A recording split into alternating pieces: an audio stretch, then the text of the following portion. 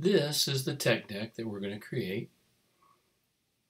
It's the right size and shape as a tech deck. The wheels don't move and they're not separate pieces, but it works fairly well and it's easy to 3D print. So this is what we're going to do. So the first thing you want to do, you'll be here when you log in, you'll be on Onshape. You want to click on Create and Document and you want to give it a name. Just call it Tech Deck and then we're going to click over here on Create Public Document. Okay, first thing we want to do is click up here. We want to make sure our units are correct. So workspace units for this project need to be millimeters. If this is the first time you've logged in, it's probably on inches, and you'll have to click anywhere in here and go to millimeter. Then once you've chosen the right unit, you click on this the green check mark when you're finished with selecting your options. So we want to start a new sketch. So I'll click on sketch and I click on the front view, which is what I want to start sketching on. And I'm going to click over here on my view cube. I'm going to click front so it turns towards me.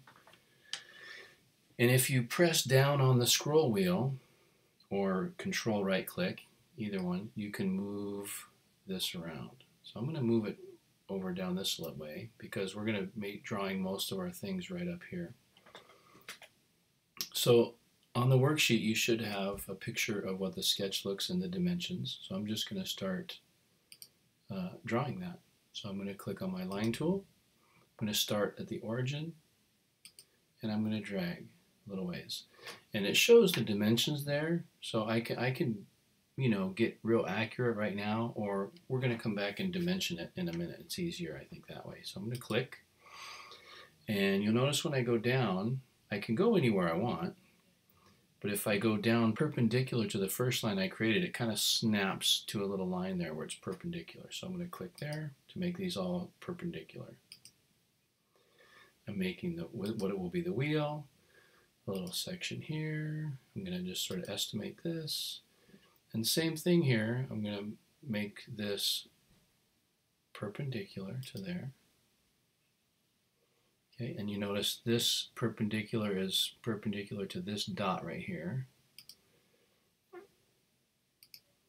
Good, now I'm done, but it want, it's allowing me to continue, so I have to hit escape to get out of this tool. So there's my basic shape of the skateboard. It's not dimensioned properly, but it's, it's an estimate. So I'm going to click on my dimension tool and I'm going to click on one of the line segments. I know this one is supposed to be 30 from my picture and it's 49. So I just click once and I can type in 30, 30, enter. Okay, now it kind of made it smaller. So I'm going to zoom in a little bit using my scroll wheel.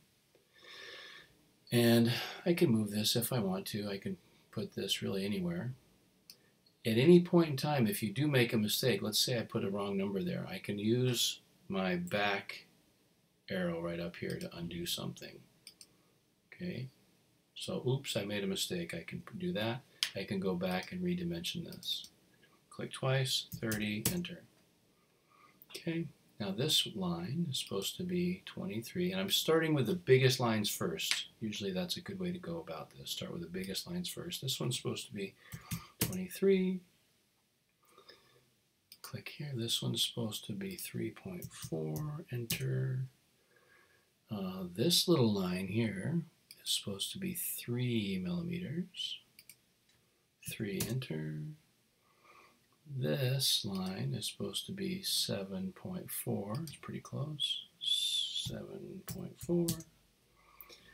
From here, the bottom of the wheels to the top of the board is supposed to be 14.6. I'm going to measure the angle of this line and this line. Now, depending on where I move my cursor, depends on the angle I'm measuring. So that, see how it changes, different, different areas, different lines. Okay, I want to measure this one right here, which is 23. Okay. So now I need to make the curve of the wheel. Okay, and we're going to use for that, we use the fillet tool right here. And since this line and this line are going to be involved in creating that curve, I click on both. Click on that line and that line, and it puts that right in there. Now I've, I've already practiced this, so the number is already in there for me, 3.7, 3.7, enter. Your number will be different, so you'll have to probably put that number in. And then the same thing here. Click here, click here, it puts it in there, enter. And for my dimension tool, if I want to move these, I can move these, or I can even click on it and press delete if I want to out of there. I, I don't necessarily need both of them there. Um, but anyway, so that's what that looks like. Okay, and then you can move these to make them, if you want this to look nice and neat, you can center things and all that. Now, you notice I've only created half of the skateboard or the tech deck. Um, and this here comes a neat tool called mirroring. So I'm going to mirror this half onto the other side. So when I click on this mirror tool, it says select a mirror line. So I can just click on this line. That's the mirror line. Then it says select entities to be mirrored. So I'm going to click on here, and you notice when I click on the part on the right, it shows up on the left. It mirrors it on the other side. So if I go around the skateboard,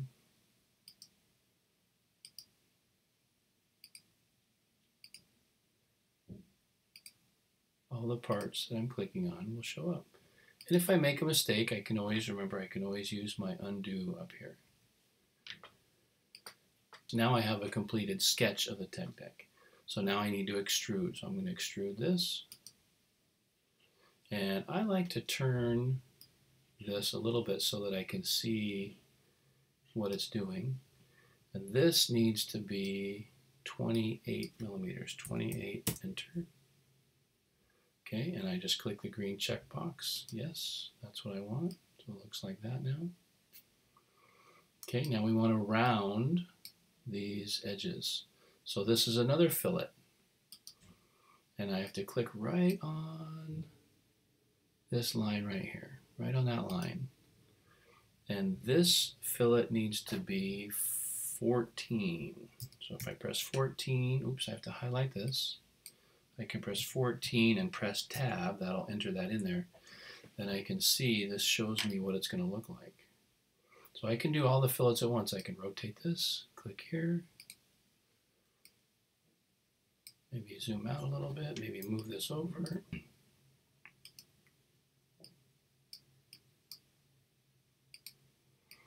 Okay, and that gives it its basic shape. So I click the green check mark. Okay, so now I want to smooth this out a little bit. On a real skateboard, you notice this isn't a straight line, boom, boom. It's more of a, there's a little transition there. So I'm going to click on the fillet again.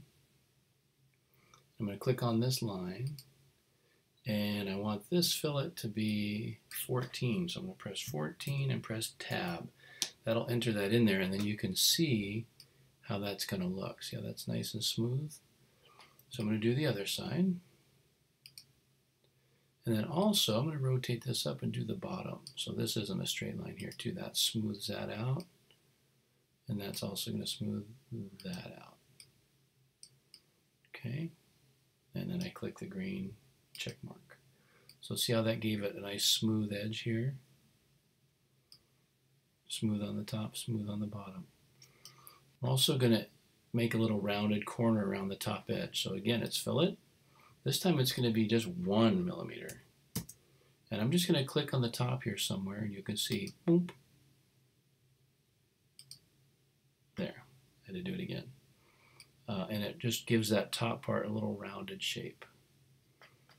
Okay, so you could be done now. You could be totally done right now. This this would work fine. Um, if you want to put your name on it, we're gonna, I'm going to click on the top here. I'm going to zoom in, and I'm going to do another sketch. Sketch, click here on the front. There, I had to do it again. There's my sketch. And up here, you see the font tool, the text tool. Click on the text tool and drag a square where I want my text to go. Okay, and this window pops up automatically. Now we want it bold, and I'm just going to type my last name. And there are a few choices uh, in fonts. Um, we found this one seems to be the thickest and fattest, which makes it look nice. And I click OK. Now this is way too big, isn't it? So I can actually dimension, I can move this around this way, and I can actually dimension the, the text just like I dimension anything else. So I'm going to click on my dimension tool, click on this top line, and I'm going to dimension this to 50. That way it'll fit in the bottom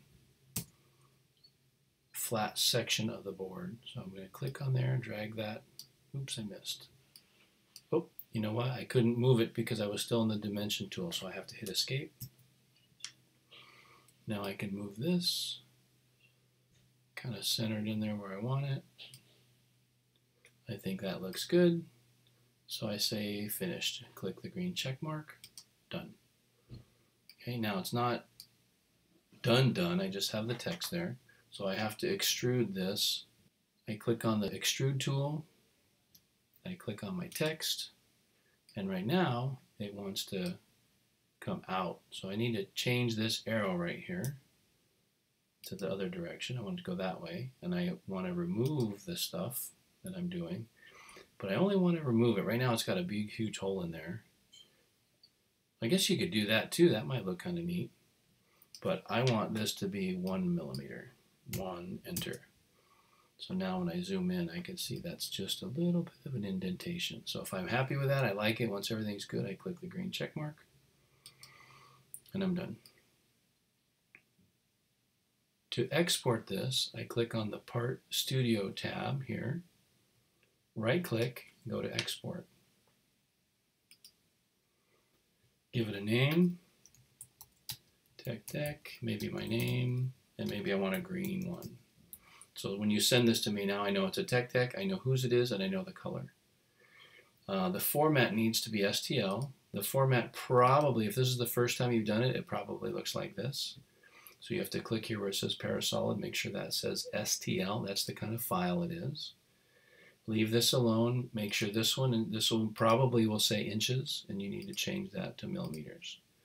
The rest should look just like this. Then you click OK, and you can see this downloaded right here down to my downloads. So then you email me, attach that file, and you're ready to go. Thanks.